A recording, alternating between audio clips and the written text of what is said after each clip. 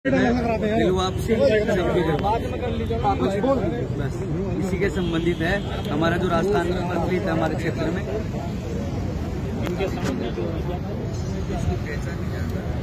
पेट बेरे दुनिया को समझ किसान की मोदी सबको पेट बेरे दुनिया को समझ किसान की मोदी सबको पेट बेरे को समझ किसान की मोदी सबको पेट बेरे और रेले गो के मोदी पर बेच रेल गाड़ी को राज़ी रेल गो के मोदी बेच रेल गाड़ी।